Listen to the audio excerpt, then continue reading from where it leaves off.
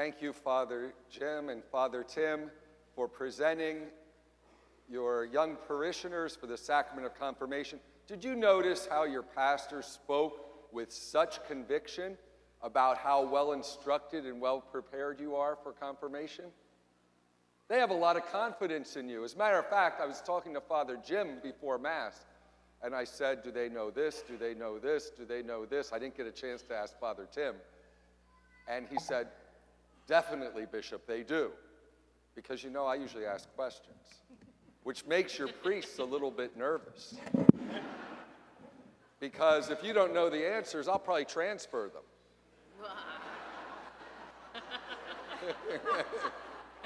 Talk about pressure, huh? The, uh, but I can see a look of confidence on your faces. And since your priest said how well instructed you are, I thought I'd do something different tonight.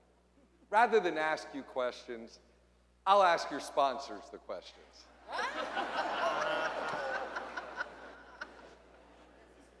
now, if you thought they look nervous, you should look at, you should see the faces of the sponsors. Just kidding, sponsors. This is, oh, this is a great night in your life because tonight you become fully initiated in the Catholic Church. As you know, we have seven sacraments. The sacraments are the masterworks of God in the new creation. These great gifts that Jesus gave us, that He instituted to share with us His life and His love, His sanctifying grace, the grace that makes us holy. And three of the seven sacraments are sacraments of initiation. What are the three sacraments of initiation? Yes. Baptism? Yes. Holy Eucharist? Confirmation. So you've already received baptism and the Holy Eucharist. And I want you to think now about what happened when you were baptized. The baptism is the first sacrament, it's the gateway to all of the sacraments. You can't receive any sacrament unless you've first been baptized. When you were baptized, and I think probably for most of you, you were infants. You weren't able to profess the faith. Your parents and your godparents professed faith for you. They renounced Satan and they professed faith for you.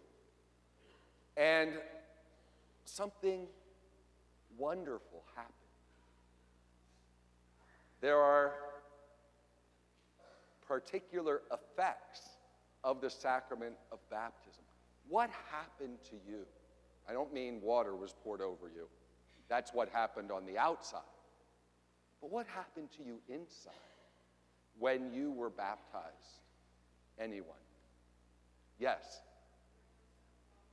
That's right, Junipero. You chose the name of Father Junipero Serra, great Franciscan saint, great missionary too. Would you stand up, Junipero?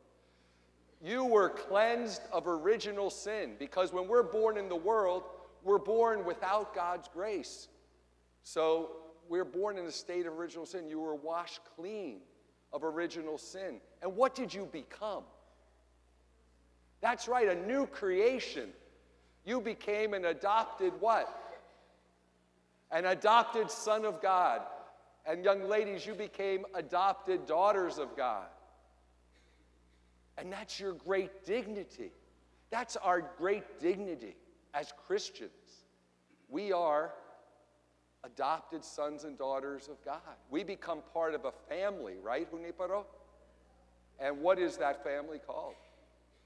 The church. So, also at baptism, we become members of God's church, his family, and we're united to Christ in our souls. So if God, the Father, we're his adopted sons and daughters, we're brothers and sisters of Christ, what about the third person of the Blessed Trinity? Who is that? The Holy Spirit. Did the Holy Spirit come to you at baptism? Yes, and you became a temple of the Holy Spirit. Wow, that's excellent. He got everything. Deacon Jim? Deacon Jim, do you have an application to the seminary I can give this young man? Good, good. Way to go, Junipero. I think he deserves some applause. Jacob, you can sit down. God bless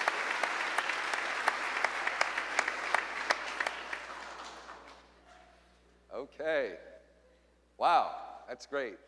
Now, thinking about baptism, what happens tonight in confirmation is you are confirmed in your baptism. In other words, what happened at baptism is completed. You receive an increase of the gifts of the Holy Spirit that you received at baptism.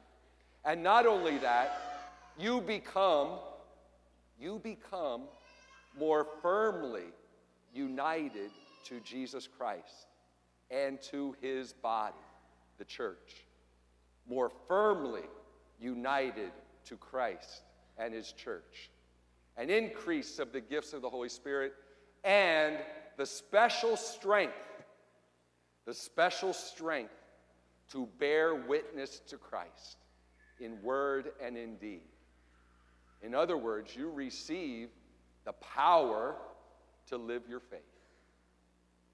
We all need that because it's not always easy to obey the commandments and to follow Christ, to live his love in this world. So we need help. And the helper is the Holy Spirit. You will come up to be confirmed, and I will anoint you on the forehead with the sacred chrism. And I will say, as I anoint you, be sealed with the gift of the Holy Spirit. This is a permanent mark, a permanent seal on your soul, indelible. It cannot be taken away, which means the Holy Spirit permanently dwells with you to give you His strength, His power, His love, so that you can live as faithful followers and friends of Jesus Christ. That's what confirmation is all about. And you say yes.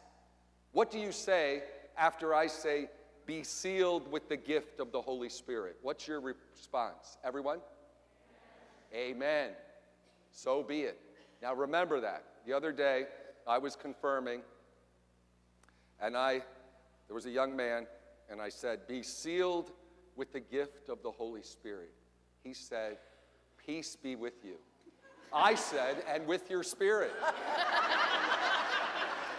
Uh, we were all messed up, you know, so, so don't confuse me tonight, okay? I say, Be sealed with the gift of the Holy Spirit. You say, Amen. I say, Peace be with you. And you say, And with your spirit. Got it? Now,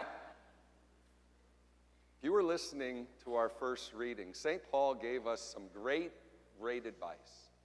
He said, Live by the Spirit, not according to the flesh. What does he mean by that? If we live according to the flesh, he means we live in a worldly way. We live just for ourselves. To live according to the flesh is to be selfish. My own flesh, whatever I want to do, my own selfish desires. That's how a person lives by the flesh. And they do what are called deeds of darkness, according to St. Paul, which are sins. They live in sin. Sin is basically selfishness. Someone who's living by the flesh doesn't care about what God's will is, doesn't care about obeying God's commandments. He or she is just living for himself. But one who lives that way is very unhappy As a matter of fact, miserable. Think about it. When we sin, let me give you an example. Let's say, obviously, you love your parents. Let's say you, you disobey your mom or dad. And not only disobey them, disrespect them, but you say something really, really cruel or mean that really hurts them. That you really hurt your parent, one of your parents that way. How do you feel afterwards? You feel terrible. If you have a good conscience, at least, you feel like, man, why did I say that? Why did I get angry? Speak that way to my mom or speak that way to my dad. See, that's every sin leads to misery, makes us miserable. And I could go through any other of the commandments because sins hurt other people and ultimately hurt ourselves. We're not happy. And some people go through life living according to the flesh and they're never happy. Why did God give us the commandments? And why did Jesus give us the Beatitudes? Why did Jesus teach us all that he taught us? Some people think, oh, it's so hard to be a Catholic because we have to follow these rules or these commandments, and you know, this is so oppressive. No, it isn't. God gave us the commandments to make us happy. When we obey and follow Christ, we experience joy in our lives and peace in our lives. We're, we have what are called the fruits of the Holy Spirit. So if you ever ask, want to ask yourself, okay, am I on the right track? Am I living by the Spirit? Check out fruits. And if you see those fruits in your life and you're growing in those fruits, then you know you're on the right track. Now, how do you live by the Spirit? Let me give you some advice. I think there's four very important things for us to do if we're going to live by the Spirit. Number one, pray. Obviously. To live by the Spirit means we have a real friendship, a relationship, a close relationship with the Lord Jesus. It's very hard to live by the Spirit. We can't unless we're close to Christ. So we pray. Number two, receive the sacraments.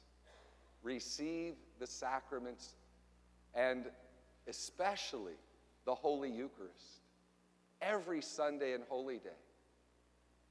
That doesn't mean, if we're living by the Spirit, it doesn't mean we go to Mass once or twice a month.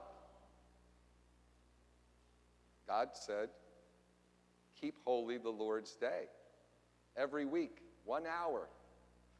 We're living by the Spirit. We come to church on Sunday to give praise and thanks to God and receive the spiritual food that we need. The Holy Eucharist, the body and blood of Jesus that nourishes us and strengthens us in our Christian life. Number three, if we're living by the Spirit, it also means that we, when we go to confession, when we mess up. Because none of us is perfect. I'm not perfect. Your priests aren't perfect. Your parents and grandparents aren't perfect. Your sponsors aren't perfect. You're not perfect. We, we sometimes mess up, we fall. And the devil is happy when we fall. And you know what he wants? He wants us to stay down and get discouraged by our sins. Jesus wants us to get up. And he forgives us if we go to him with sorrow for our sins, with contrition. And we do that in confession, the sacrament of penance. So to live by the Spirit is to go to confession regularly, as well as, as I mentioned, going to Mass every Sunday and Holy Day. And finally, the fourth thing I would mention live by the Spirit, besides prayer, the sacrament of penance, the sacrament of the Eucharist, number four is reading the Scriptures, especially the Gospels. How can we follow Jesus Christ if we don't know him? And where do we get to know him? We read the scriptures, especially the four gospels.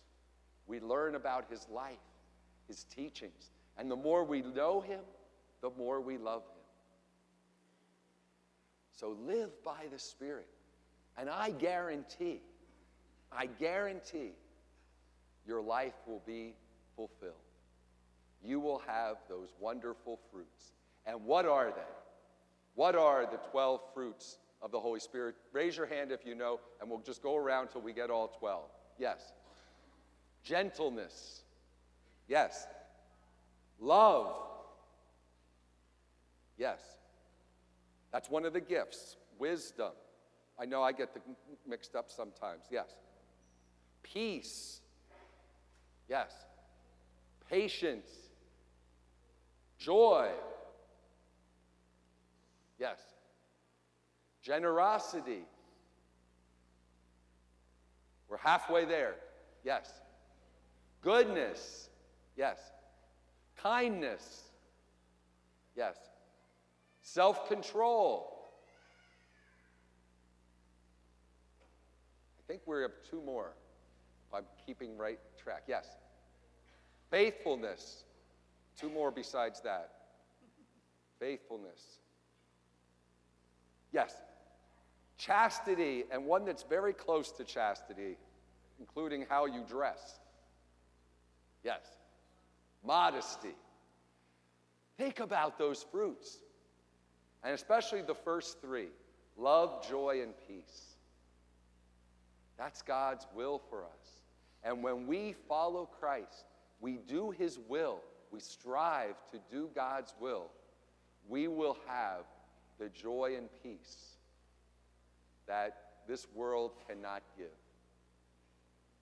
And all those confirmation names that you chose Sebastian, Maria, Francis, Valentine, Dominic, Dymphna, all those holy men and women lived by the Spirit. And some of them, in following Christ and living by the Spirit with courage, they even died for Christ. They shed their blood. They wouldn't even deny Christ when they were being tortured, like St. Cecilia, a beautiful, beautiful young woman. What do we call some, a saint who dies for Christ? Yes. A martyr. And martyr is a Greek word which means witness. The Holy Spirit strengthens you in confirmation to go forth and to bear witness to Christ with courage. And when you do, you will bear abundant fruits. We'll see the fruits of the Holy Spirit in your lives. Candidates, please stand.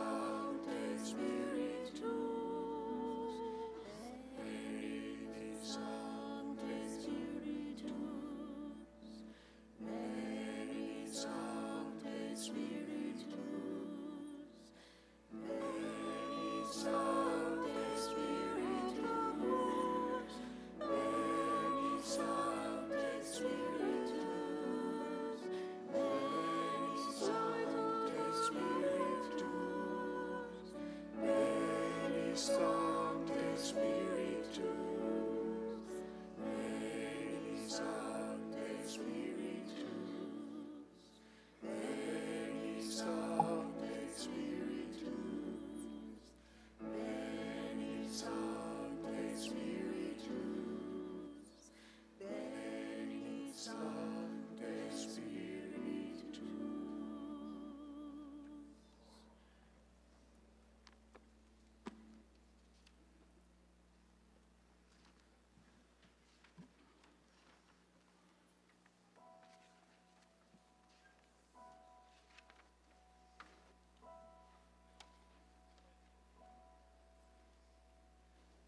Holy Spirit, come refresh us with your fire of love. Holy Spirit, come renew us, heal us with your love.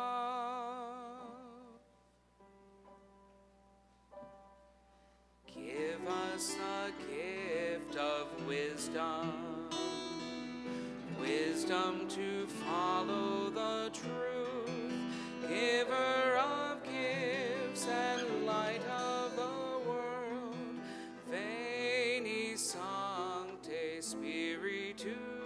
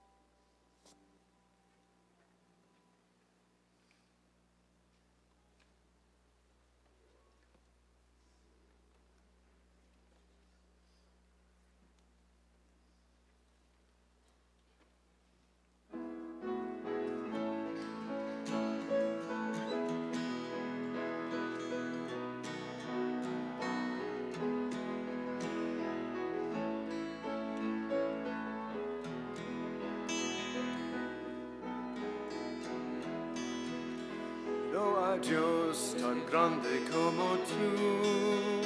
No lo hay, no lo hay.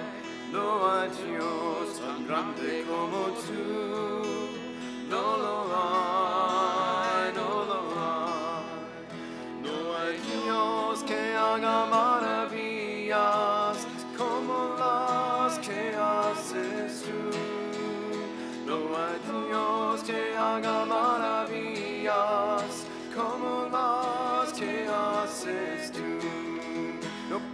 espadas ni con ejércitos, mas con tu Santo Espíritu no con espadas ni con ejércitos, mas con tu Santo Espíritu. Y esos montes se moverán, y esos montes se moverán, y esos montes se moverán, mas tu Santo Espíritu. No hay Dios tan grande como tú. No lo hay,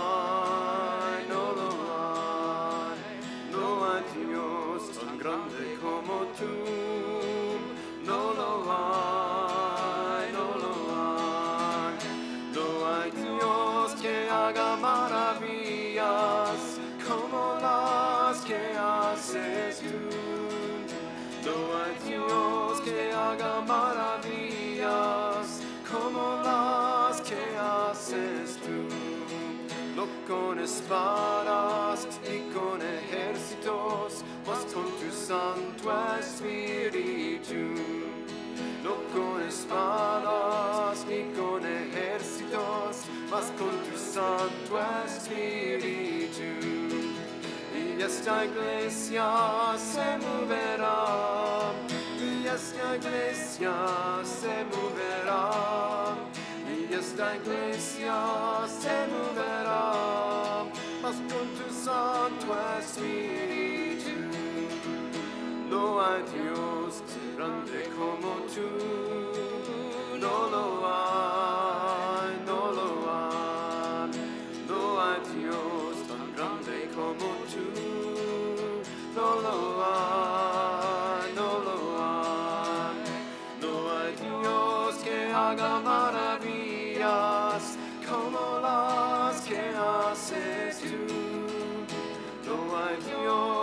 haga maravillas como las que haces tú.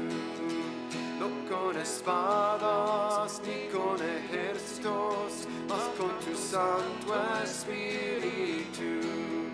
No con espadas ni con ejércitos, mas con tu Santo Espíritu.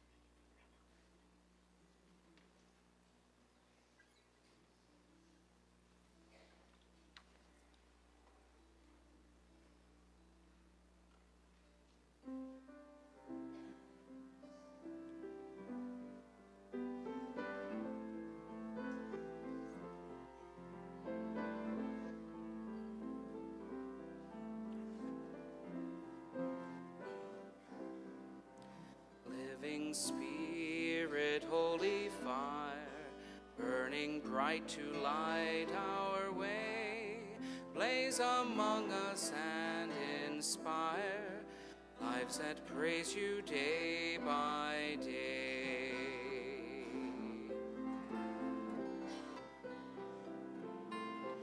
Warm us, draw your people near when our love grows weak or cold.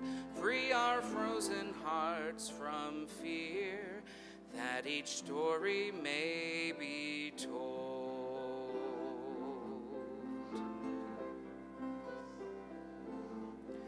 Melt away the masks we wear, hiding what we know and feel, risking growth we want to share.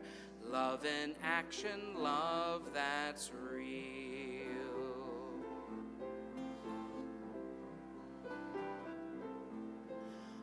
Open hearts affirm us all, many splendored one in you.